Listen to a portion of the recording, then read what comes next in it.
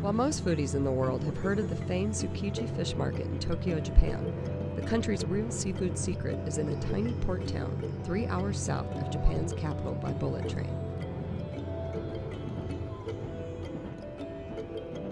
The Katsura Gyogyo Cooperative has been around for 700 years. Located in a small fishing village on the Kii Peninsula in eastern Japan near the famous Taisha Shrine. While it doesn't have the fame of Tsukiji, this market is the actual first port of call for much of the country's bluefin tuna and brings in over $70 million a year.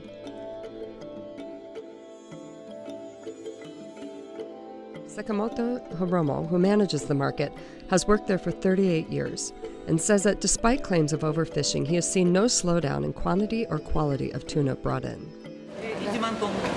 About uh, 10,000 tons. 魚種類で黒マグロ black tuna, uh, black fin tuna, Mebachi maguro. kind of maguro called mebachi maguro, 毛肌マグロ kihada maguro, ビンチョウマグ bincho maguro. ロが主な Those 4 are the main types of tuna, four different types. It's not number one, but it's one of the priority places for catching all these these things. あの生マグロがそうですね生マグロは日本一 for for uh, fresh tuna, fresh maguro, they are the number one. The biggest catch this day was 172 kilo bluefin tuna, which sold for just over $17,000. A pittance compared to the cooperative's largest catch ever.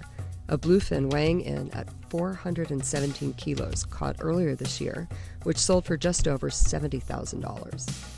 Japan, which consumes 80% of the global bluefin catch, has long had a love affair with the Ferraris of the ocean, which even get a mention in Manyoshu, a collection of Japanese poetry compiled in the 8th century. The country's appetite for bluefin tuna now risks plunging the fish into commercial extinction. The International Union for Conservation of Nature estimates that the Pacific bluefin population declined by 19 to 33 percent over the past 22 years, mainly to satisfy demand for sushi and sashimi in Asia.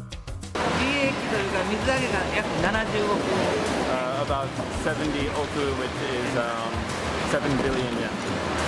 But while the international debate rages, the fishermen at Katsura Gyogyo keep on fishing the same way they've done for hundreds of years.